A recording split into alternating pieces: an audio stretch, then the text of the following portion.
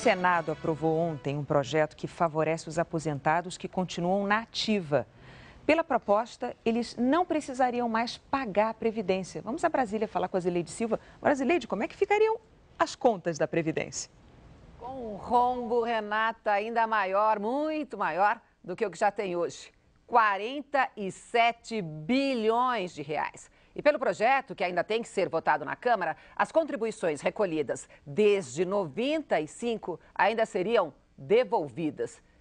Imagine o impacto de uma conta dessa num país que já gasta demais com a Previdência. Só em pagamento de pensão por morte, o Brasil é líder mundial. Há dois anos, Juliana ficou viúva. Ela recebe pensão pela morte do marido.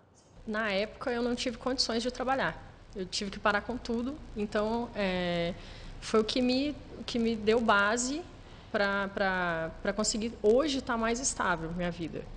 Todo segurado da Previdência deixa pensão aos dependentes quando morre.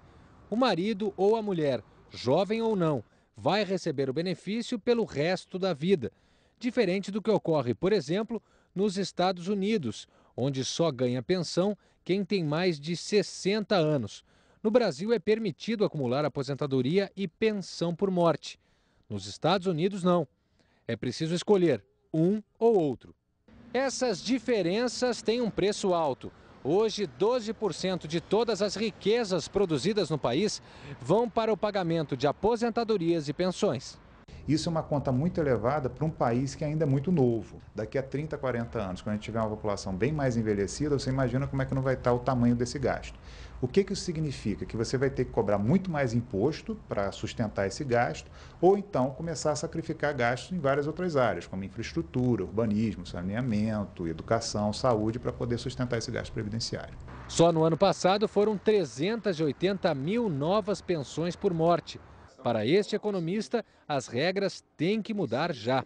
O sistema brasileiro ele é preocupante porque ele é um sistema sem controle, sem trava, onde se pode tudo o próximo governante, que assumir em 1 de janeiro de 2011, vai ter que já levar isso para dentro do Congresso, essa discussão, porque é uma discussão extremamente complexa, polêmica e que exige esforço e sacrifício para se encontrar saída e solução para o problema de forma permanente.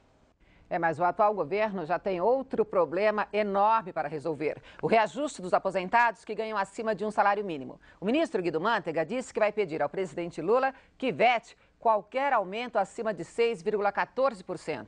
Só que até os líderes dos partidos aliados falam no reajuste de 7,7%. Ano de eleição, Renato, todo mundo fica bonzinho.